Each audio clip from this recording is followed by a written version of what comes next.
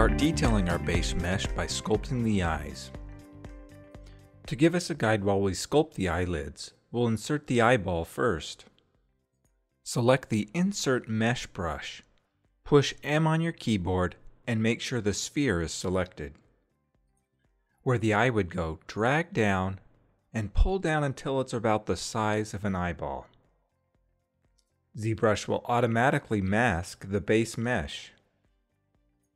Select W on your keyboard to select the Move tool. Starting with the eye, draw out the Move tool. With the center circle on the line, pull the eyeball back. Rotate the head to the front view and draw out the line again from the center of the eye. Use the center circle to move the eye into position.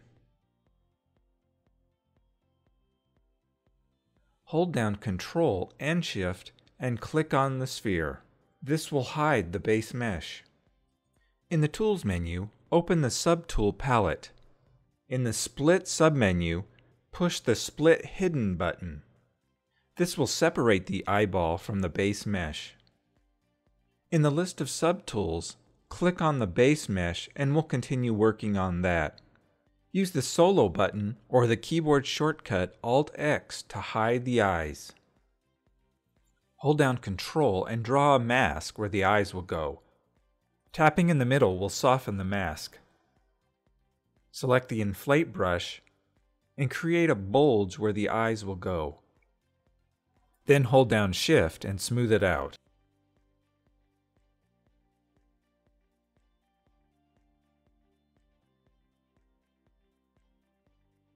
Hold down Control and draw a mask to roughly define where the eyelids will go.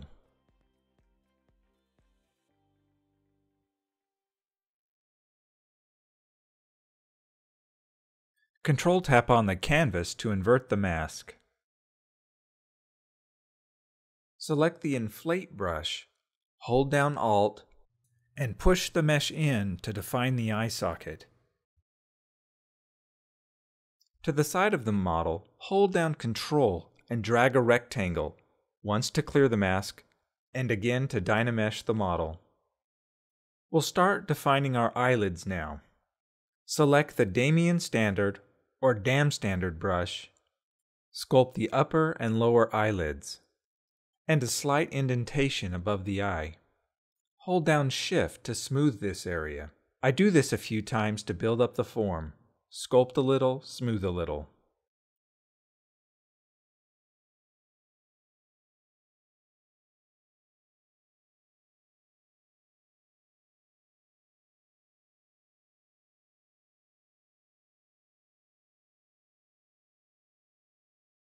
Use the Move brush to help shape the eye. Pull in the corner and also on the edge. From the side, the eye will be like a wedge shape.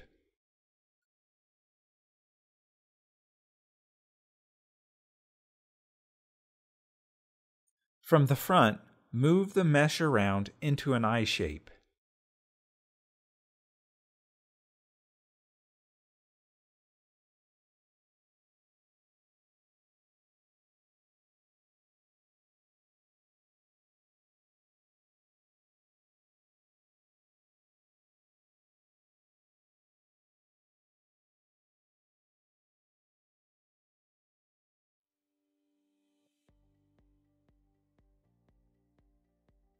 To help clean things up, open the Geometry palette and push the Clay Polish button. We'll increase the resolution of our Dynamesh slightly. Open the Dynamesh submenu and move the slider to about 150. Control drag to Dynamesh the model again, and the Dam Standard brush to sculpt the eyelids a little bit more.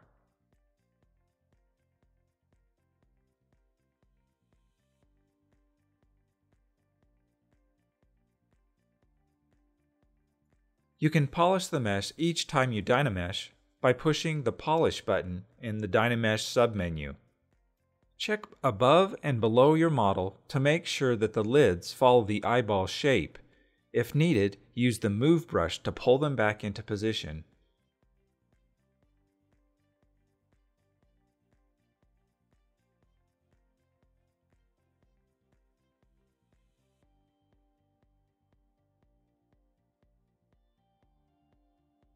Use the dam standard brush to make a slight crease above the eye.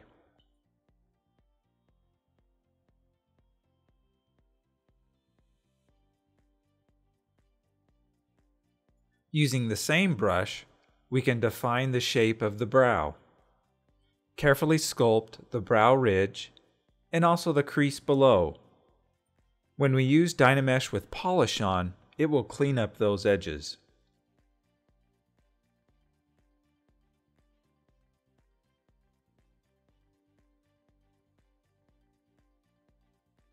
Use the Move brush to make any tweaks.